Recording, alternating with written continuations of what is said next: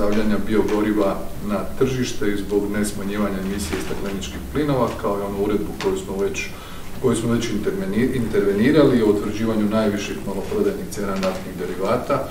I mi ćemo sa tim izmjenama koje će postati e, važeće za otprilike dva tjedna dodatno smanjiti e, cijenu e, goriva i dizela i benzina. Prema tome nalazimo rješenja koja će i dalje smanjivati udar ovih, ovog velikog rasta cijene energenata na naše građane i na naše gospodarstvo.